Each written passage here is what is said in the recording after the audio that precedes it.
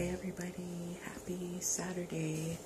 Um, I'm just at home about to eat a quick snack. Thought I would record a video because I'm never home alone. Um, so yeah, hopefully everybody's having a good start to their Saturday morning. I got up and just kind of been out and about, just riding around, not doing too much. I'm hungry and I don't have anything. I need to go grocery shopping. I didn't even have rice, otherwise, I would have made me a side of rice. Uh, but all I have is some chicken tenders and corn dog. Fancy, right? This is all I got for now. I have to figure out what to cook later, so I'll probably be making a move to the grocery store soon and um, I really wasn't ready to get out and go to the store right now, so I figured I'll do that later.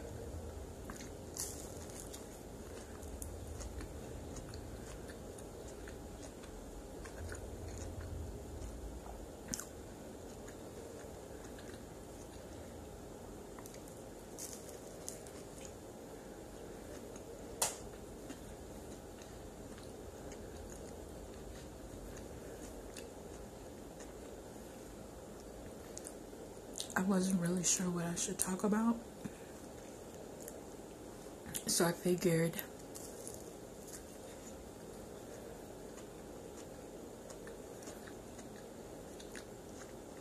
I would just talk about what's going on in the here and now and my relationships that are currently happening.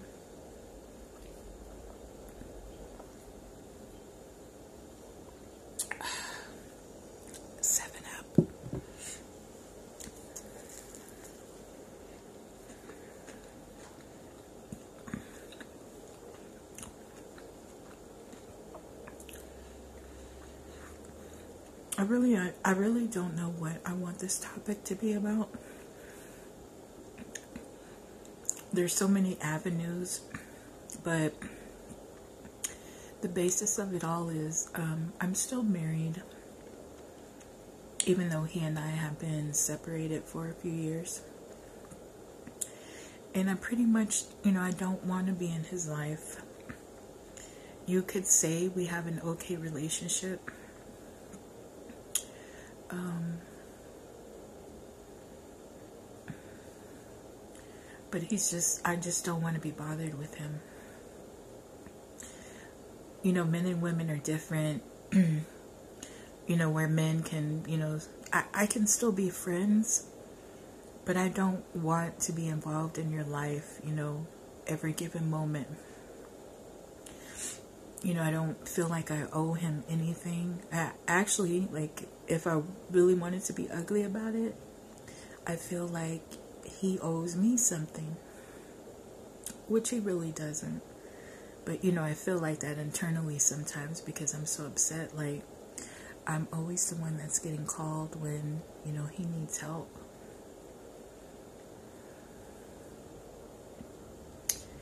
And anyway, I burned it.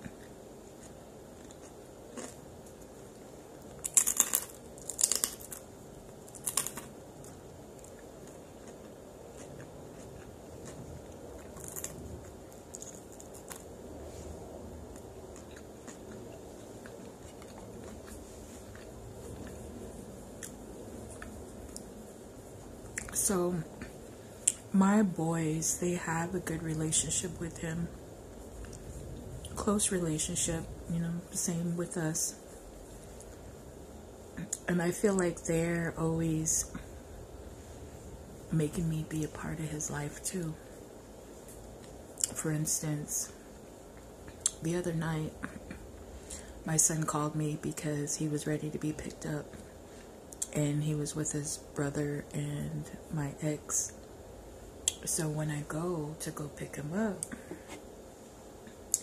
then the ex wants to jump in the car and he wants to get dropped off and and really my attitude was bad and I wanted to say hell no. But, you know, my kids, it's an uncomfortable situation because I hate to put them in the middle of things. Because if I do and he says anything wrong to me, like it could get really explosive. Ranch.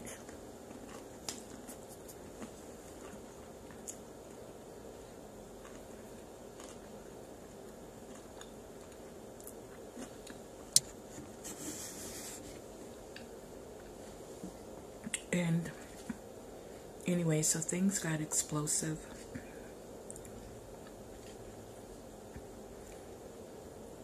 And me and my sister were just talking about this. But everything exploded. Everybody, everybody was arguing. Oh, mind you, it was all over dumb stuff. But it started out because I had the bad attitude because I didn't want to be bothered with him. It was cold, it was rainy. I went to go pick my kids up. I wanted to get back home, and go to sleep. It was 9 o'clock at night. So, you know, it was just already stressful for me to even get out and go get them. But then to be involved in all this drama in my car, now mind you, I've been through hell and back picking out this car that I just, I've only been driving for a week. And then here are all these people in my vehicle that are just like, it was just so much chaos, all that negativity. I didn't want it in my car, I didn't want it around me, I didn't want it on me.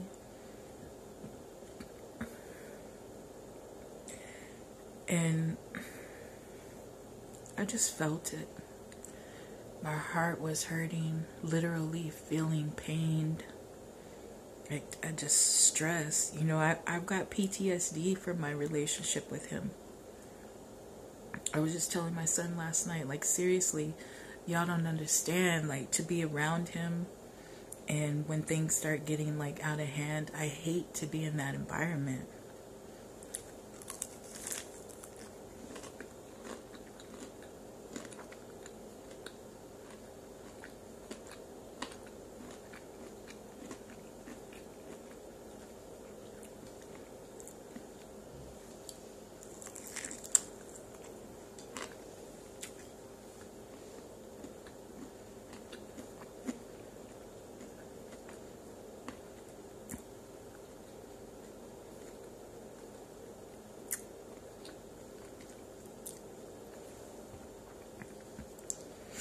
So, needless to say, I've been feeling like I've been walking around with this negative energy.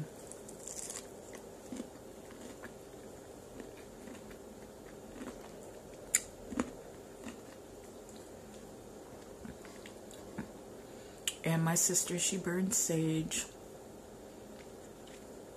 I've got some sage too. My last little piece, for some reason, it just would not burn but I burned it really good this morning. I got to go to the uh, cemetery. It was so cloudy. It's a mountainous area. The clouds were just like awesome. Not that I really meditated out there, but just to be in the environment and just to know that there were, you know, spirits and different things out there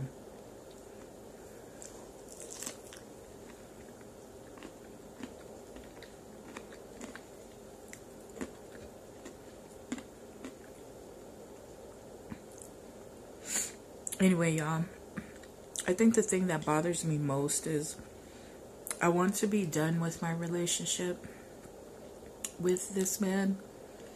And I know that we have two kids in common. I know that I need to get a legal divorce. And I also know that I just need to distance myself.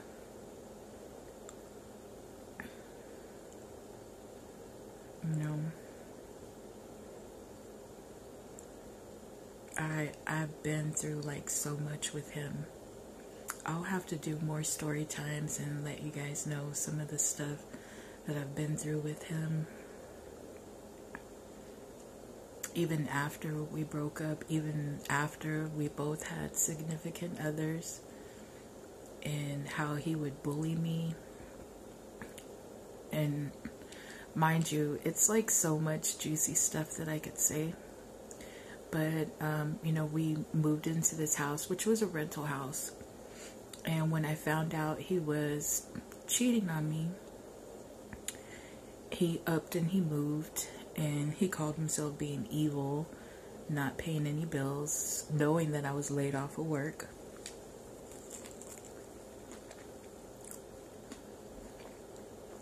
Both of my boys were in school at the time.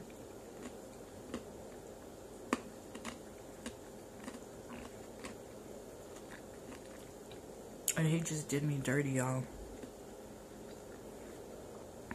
So even after he did me dirty and he left the household and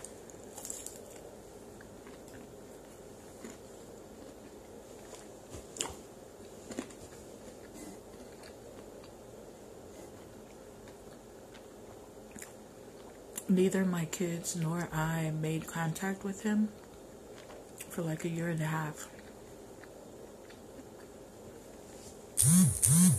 And then my son happened to run into him on the bus.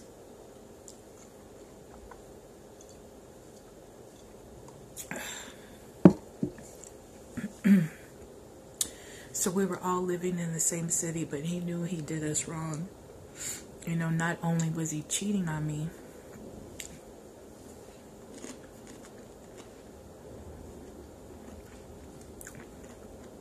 but he treated me like shit for the next week or two. And then and then all of this explosive stuff happened where he ended up bouncing. And pretty much just left us high and dry, but you know what? I was going to leave him high and dry. I had already made it up in my mind and I had the opportunity to do it. I had his money in hand and I didn't do it. And I didn't do it because I didn't want any bad to come on me or my kids, and I just told myself, you know, I'm gonna suck it up. I'm gonna do without, and I'm gonna make it, and I made it. I mean, I wasn't working, I didn't have any income. I paid, you know, managed to pay $800 in rent. So basically, we didn't see him for a year and a half. Then, when they started running into him, they made contact with him. Next thing you know, he's randomly popping up at the house then it got to the point where he would pop up at the house, walk in the door. Then it got to the point where he was coming over there to hang out with my kids in our carport and just hang out and drink with them. And mind you, I had a new boyfriend. We were living together in this house. and my ex has such bullying ways that he felt entitled to be there, especially if his kids were there. He felt like he could just walk in and do whatever he wanted.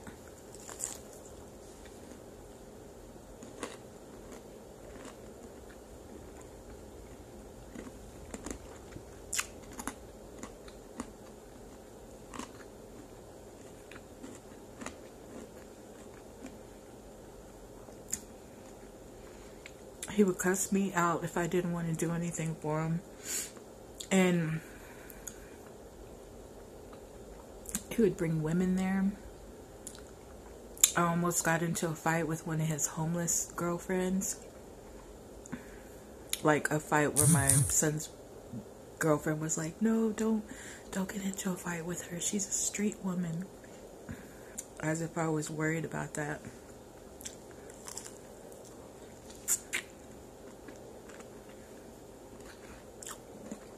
I drama.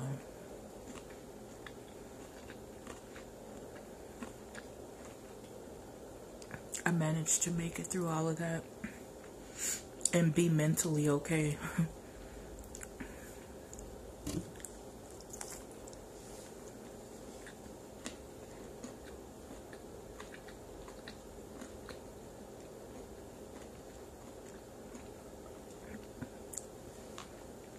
So now when I deal with him, it's mainly just for my kids. You know, they have big hearts. And so my ex, he doesn't have like his own place or anything. My kids worry about him. And sometimes when they ask me to do things for them, they're asking me because they know nobody else is going to do it. And I don't let them down, you know. I know where their hearts are at.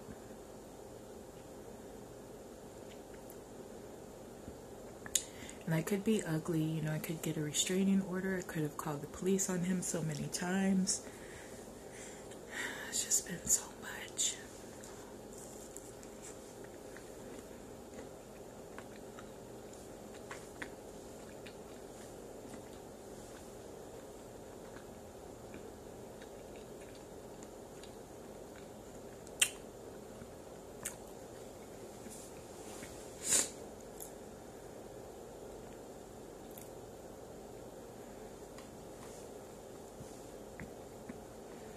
A book.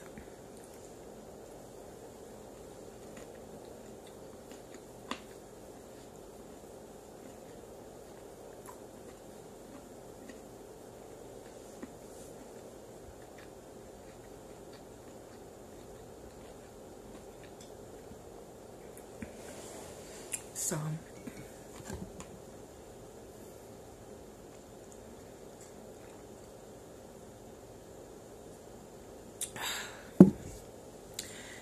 until I figure out what I'm gonna do, I'm just gonna keep praying about it. I'm going to try and avoid messy situations.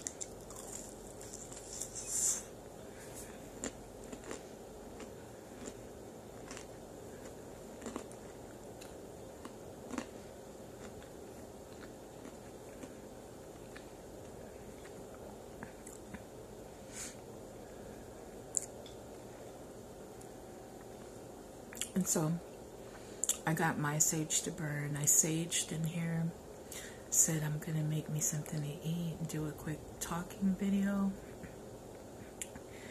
And um, me and my sister just had this really deep conversation about, I guess, spiritualism, religion. And, um, you know, we were raised in a Baptist church, but I've never been baptized my father's family is Catholic, but I don't. I'm not really familiar with the Catholic religion. And um, you know, we were talking about, you know, if there's a heaven, there's a hell. You know, demons do exist. Um, spirits exist. And I've been watching these videos online about witchcraft. Um, um, but in in Latin or the Hispanic community, you know, it's called brujeria and the occult, I guess, basically.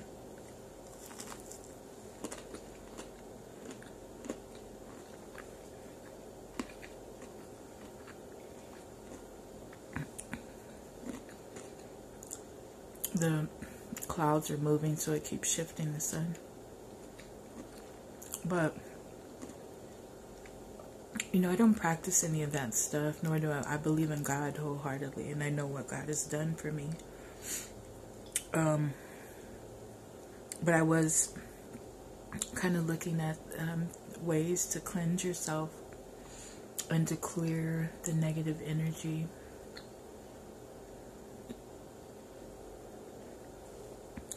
And how it's really needed you know, for your state of mind. And I don't have a lot of people to talk to, you know, when things are really, really tough or when I really don't know what to do. Um, so sometimes just a clear mind helps. And I feel really good because I lit the sage. I got to go to the cemetery. And um, I feel up. I feel energized and I don't want to waste the day. I want to get out, maybe go take the dog for a walk in the park.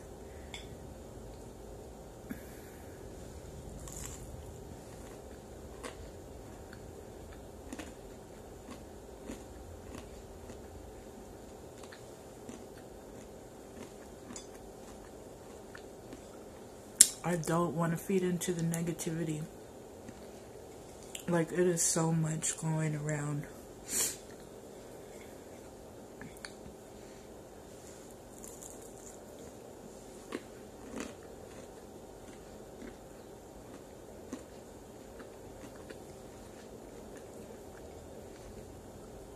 So, anyway, I don't practice any of that occult stuff. I just think it's really interesting.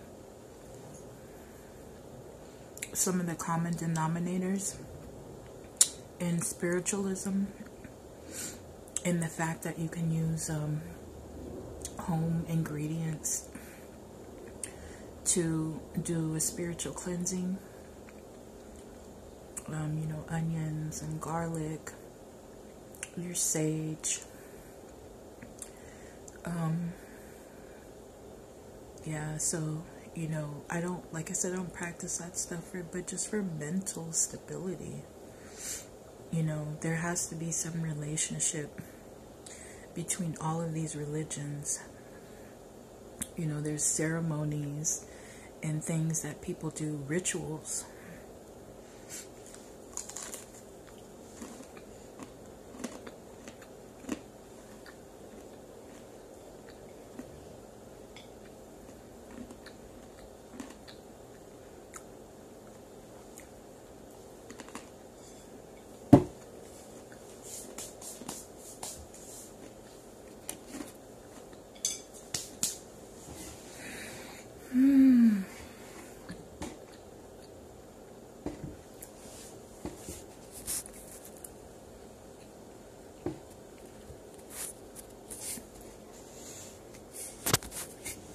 So yeah.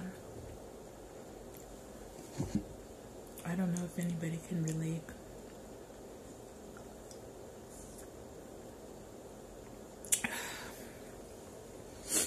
I really just don't know what direction I'm going in. I just want to do good, do good things, be good to people, reap good seeds.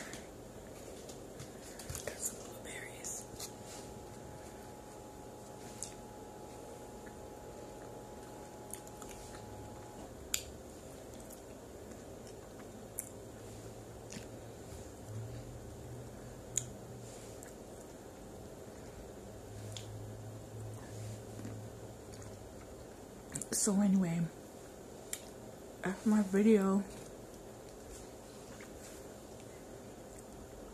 I still got to get the hang of looking at the camera.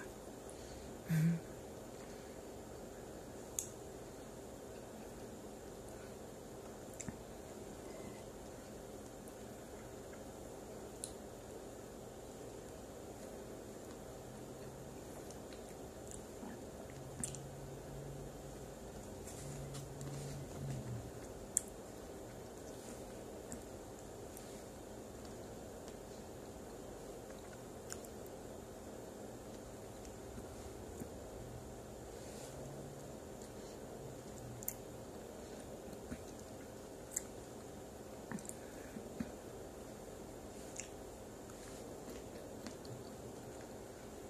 Well,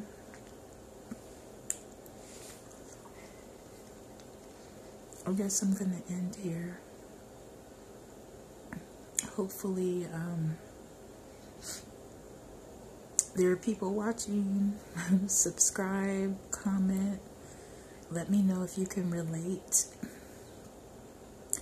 And uh, in any way, I mean, I kind of was all over the place, but basically what it comes down to is I want to be done with what I need to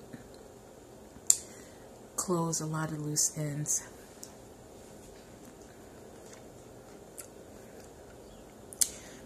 And I want to live in peace. I want to be mentally strong.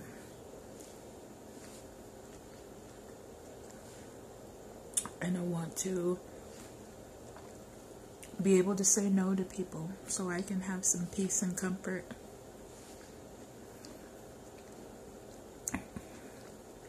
So, just a quick little video. Hopefully, I'll cook something later. And we'll post something and maybe we'll do a story time.